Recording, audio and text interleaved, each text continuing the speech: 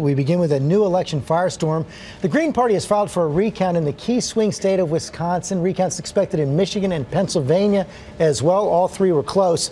Hillary Clinton's campaign is joining the effort, even though they expect no change in the final results. Donald Trump is railing against that effort, unleashing a Twitter storm on Sunday, alleging millions of people voted illegally without any evidence. And ABC's David Wright is in Madison, Wisconsin, where officials are set to meet today. Good morning to you, David. Good morning, Amy. Donald Trump won this state by less than 1%, fewer than 22,000 votes. So it's possible, but unlikely, that this recount process that begins here today could end up denying him this state. But Trump is complaining loudly about it. Donald Trump always railed against what he called a rigged system. Big part of the rigged system. We call it a rigged system. You know, we're in a rigged system, folks. Now he's blasting the effort to recount the vote in the Rust Belt as a Green Party scam. The people have spoken and the election is over, he said in his first comments about the recount. We must accept this result and then look to the future.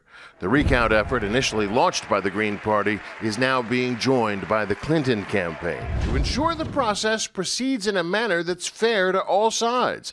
Clinton's lawyer says the campaign has been urged by supporters to, quote, do something, anything, to investigate claims that the election results were hacked, but concedes that the Clinton campaign's own investigators have not uncovered any actionable evidence of hacking or outside attempts to alter the voting technology. Why in the world?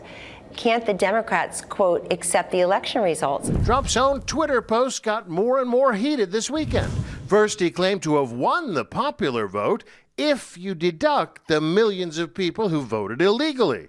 Then he claimed serious voter fraud in Virginia, New Hampshire, and California. So why isn't the media reporting on this? Serious bias, big problem.